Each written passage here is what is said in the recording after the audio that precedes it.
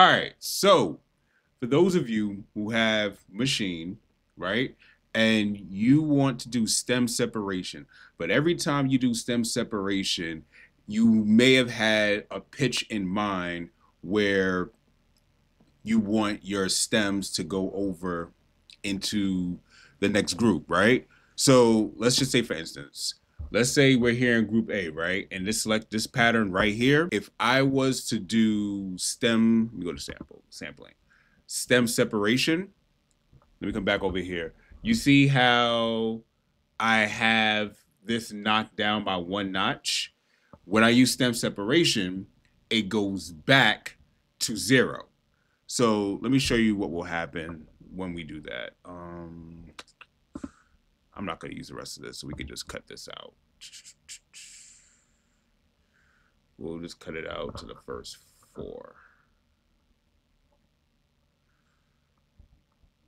So we're gonna show. I'm gonna show y'all this in real time, and I'll make this into a video. For those of you who don't know, I'm doing this live. So if you see me stutter or hear a couple of uh, oohs or ahs or hear all that, that's because this is a live stream and I'm talking off the fly.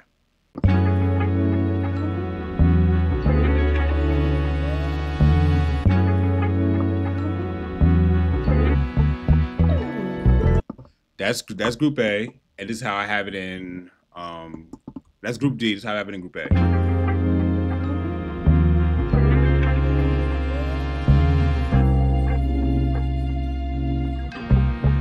So you notice the pitch difference is slightly different. The one that I had in the original group, I wanted that to go over to Group D. The reason why I found this as an issue is because this will slow down your workflow if I have to control and click all of these just so I can make sure I could turn all the um, the pitches down all at once. So what you do to avoid that is you're to go to group A where your sample is, right? You go to sampling and you already did it right here. You're to make the four bar loop that you want in the loop that you want it in.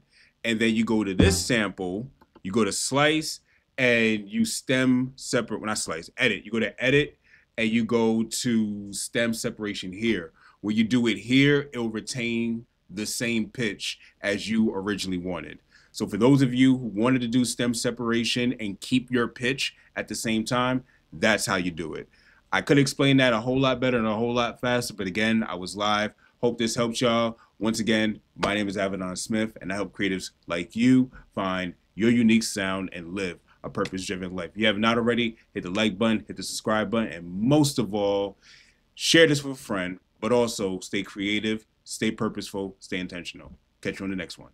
Peace. Have you heard of Melodics? If you haven't, I want you to take a look at this. Melodics is a learning tool that helps music producers learn how to finger drum better, play the keyboard better, or even use electronic drums better. This is something that if you are serious about your music production journey and you want to separate yourself from people who don't know music theory or who don't know how to play the keyboard or who don't know how to finger drum, this is for you.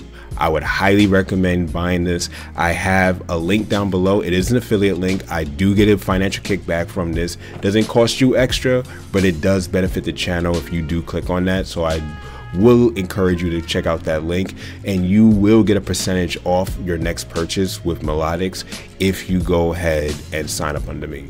So check it out down below. I'll catch you back in the, in the video.